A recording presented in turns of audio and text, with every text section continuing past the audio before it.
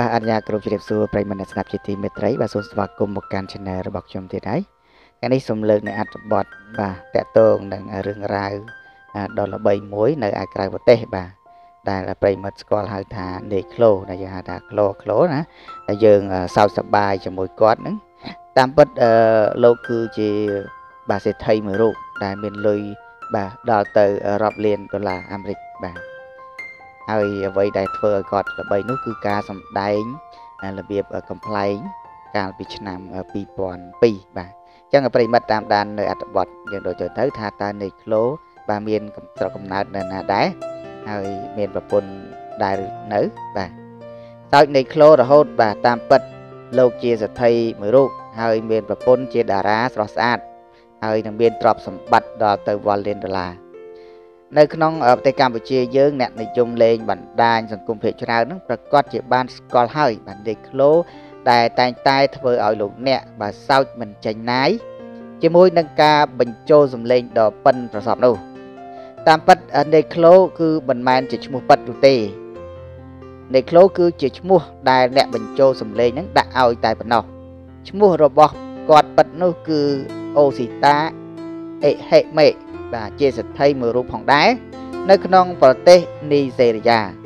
លោកអូស៊ីតាកើតនៅថ្ងៃទី20ខែកុម្ភៈឆ្នាំ1982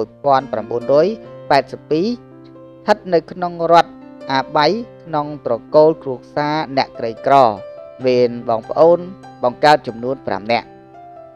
លោកអូស៊ីតាឬក៏អាក្លូជាតារាសម្ដែងដ៏ល្បីមួយរូបក្នុងប្រទេស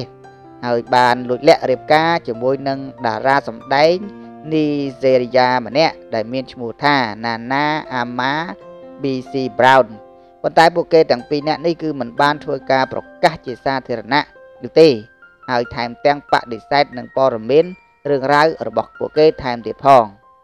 ភាពលុយបាញ់របស់លោកចាប់ផ្ដើមឡើងនៅក្នុងអំឡុងឆ្នាំ2002បន្ទាប់ពីបានចូលរួមសម្ដែងនៅក្នុងខ្សែភាពយន្តបែប Nollywood ជាច្រើន ជាពិសេសរឿងកំ pl ែងអាគីណាប៉ៅប៉ៅលោកបាទអាជីពរបស់លោកសម្ដែងចំនួនបាទចិត្ត20ឆ្នាំនឹងការថតខ្សែភាពយន្តជាង200រឿងមកហើយហើយលោកសពថ្ងៃ មានទ្រព្យសម្បត្តិរហូតដល់3.5លានដុល្លារនោះបាទបាទអញ្ចឹងឃើញគាត់នៅតូចក្មេងណាតាមពិតគាត់នឹងវ័យច្រើនមកហើយបាទ82បាទចូល40ឆ្នាំហើយបាទ ណាដល់